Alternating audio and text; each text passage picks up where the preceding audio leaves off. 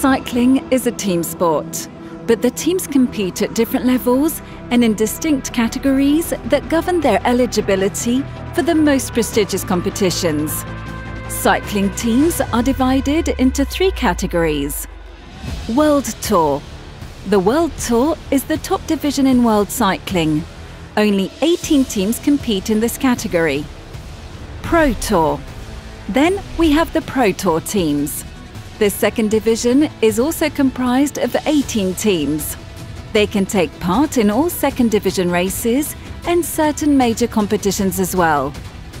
Continental. The final professional division includes the continental teams. They are 161 of these teams. They have lower budgets and are eligible to compete in second division races. To establish rankings, a world ranking system has been implemented which awards points to teams based on their wins, races, and the finishing places of their riders. Every three years, this ranking is reset to zero, and the Pro Tour teams who have won more points than the World Tour teams are promoted to the first division. Here are the three teams that finished on the podium in 2022 the Dutch team Jumbo Visma, the British team Ineos Grenadiers, and finally the Soudal Quickstep team. Types of riders and examples. Not all riders in each team have the same physical strengths, and so there are several key categories of riders. Climbers. Climbers are those riders who try to win the Tour de France and other three week races. Climbers show their strengths in hilly stages and can easily climb the most challenging mountains. Here are five riders known for their climbing prowess Tadej Pogacar, Egan Bernal, Jonas Vingegaard, and Primoz Roglic. Sprinters. Sprinters are fast and powerful.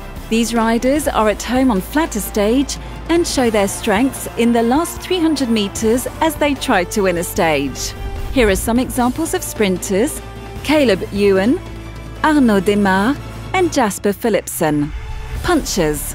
Punchers are key riders who are an ideal combination of climber and sprinter. Their favourite terrain is difficult and fast hill sections.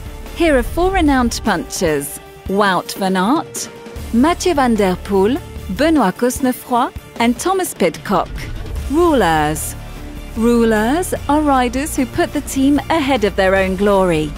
They position themselves in the front of the peloton and protect the climbers, sprinters, and punchers from wind so that the specialists can conserve their energy for key moments. Examples of rulers include Filippo Ganna and Edoardo Affini. How do you identify the riders? These riders, whose names have been mentioned above, are easy to spot in the peloton thanks to certain mnemonic means to have. Bibs. Every rider wears a bib with a number on it. Bibs are visible from footage taken by helicopters.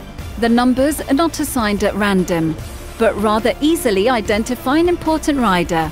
The team leader will always have a bib number that ends in 1, so 1 11, 21, or 31, for example.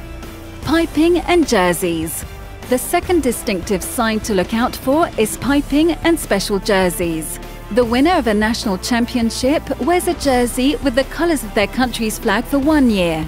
But after this year has ended, the rider reverts to wearing a classic jersey with piping on the collar and cuffs. This piping identifies a rider who has been a national or world champion.